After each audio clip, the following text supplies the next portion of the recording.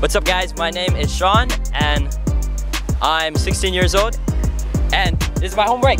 Okay. What home break is this? Uh, this home break is actually Queens, Waikiki. Oh, this surf spot right behind me. You said you were 16. How long were you surfing here? So I surfed here since I was like five or four-ish. So like, I, I don't know, like 12 years. Okay.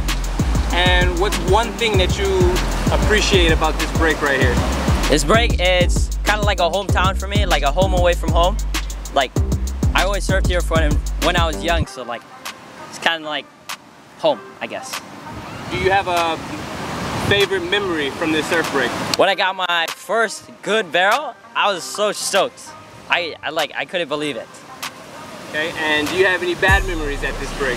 Um, I think a couple bad memories was when I had my first competition here and I found out that I lost the heat and then I couldn't advance.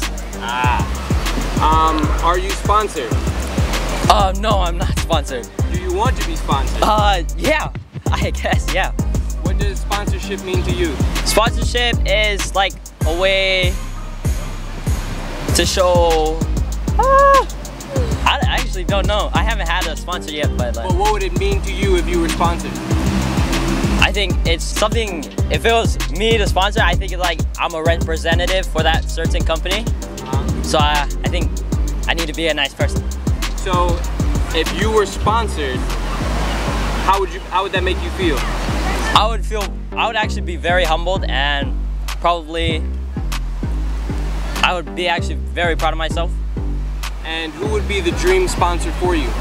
I think my dream sponsor is probably RVCA or probably Billabong. RVCA or Billabong?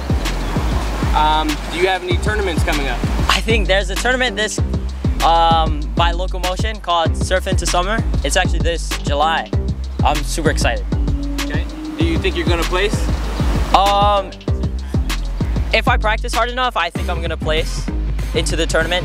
Um, but uh, it's a take, give or take, I guess. Okay. And what? Where can everyone find you at? What's your uh, whatever handle you use? Um, everyone can find me at Instagram at Sean.Lewis with two S's at the end.